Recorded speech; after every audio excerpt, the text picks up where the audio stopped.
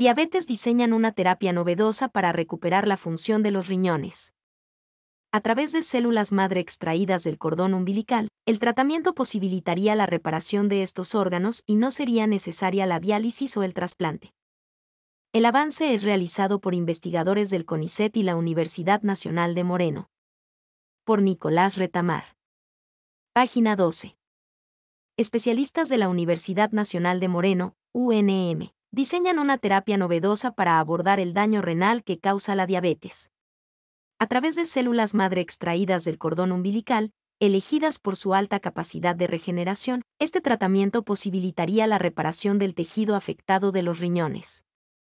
En la actualidad, se estima que hay 30.000 pacientes en diálisis y 5.000 que esperan un trasplante de riñón en Argentina de concretarse el aporte de los investigadores locales, se podrían evitar las afecciones renales crónicas que pueden derivar en la muerte de la persona. Se trata de un proyecto que investiga una terapia celular para un tipo de patología que es la nefropatía diabética. La diabetes puede generar un montón de complicaciones y una de ellas es el daño renal.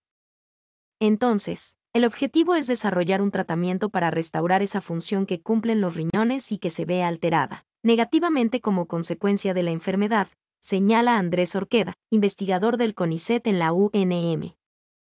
Los riñones son dos órganos glandulares ubicados entre los músculos de la espalda y el abdomen. Su función principal es filtrar los tóxicos generados por el metabolismo del cuerpo y eliminarlos a través de la orina. También mantienen el equilibrio del agua y la sal del cuerpo actuando sobre la presión arterial. Además, ayudan a la producción de glóbulos rojos y preservan la salud de los huesos. Células superpoderosas. Para salvar los riñones y restaurar su función, los especialistas planean suministrar un tipo de células madre que se llaman MIUS y se destacan por ser pluripotentes. Esto significa que pueden convertirse en cualquiera de las otras células que se encuentran en una persona adulta y no tienen efectos secundarios. En este sentido, hay otros dos tipos de células pluripotentes que son las embrionarias, ESC, y las inducidas, IPSC. Aunque las primeras se extraen de embriones y las segundas son creadas artificialmente en el laboratorio, ambas pueden generar tumores. En la literatura científica son más frecuentes los trabajos en los que se emplean células ESC o IPSC. Sin embargo, al provocar tumores, podría resultar peor el remedio que la enfermedad. A diferencia de las pluripotentes inducidas o embrionarias, las MIUS corren con ventaja ya que no existe la posibilidad de desarrollar afecciones y existen en el cuerpo a lo largo de toda la vida, subraya Orqueda. De ahí el interés y su potencialidad, ya que en una eventual terapia se podrían extraer células MIUS de la misma persona a la que se quiere tratar. A pesar que se utilizaron en otros tipos de tratamientos para reparar el tejido del corazón después de un infarto los estudios en daño renal todavía son pocos. El proyecto, que se realiza dentro del Programa Académico de Investigación e Innovación en Biotecnología de la UNM, contó con el financiamiento de la Comisión de Investigaciones Científicas de la provincia de Buenos Aires. Enfermedad silenciosa.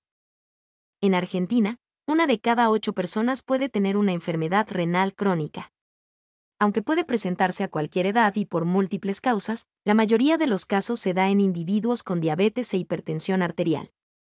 Si bien hay diferentes grados de severidad que se definen de acuerdo a cuánto filtran los riñones, la mayoría de las veces la enfermedad no presenta síntomas, aún en sus etapas más avanzadas.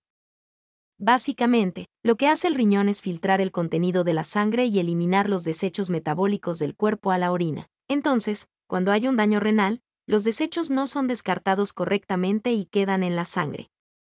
Entonces, lo que nosotros queremos estudiar es una terapia celular que detecte de forma temprana un daño renal que podría ser crónico y no desembocar en la diálisis o el trasplante, destaca Orqueda.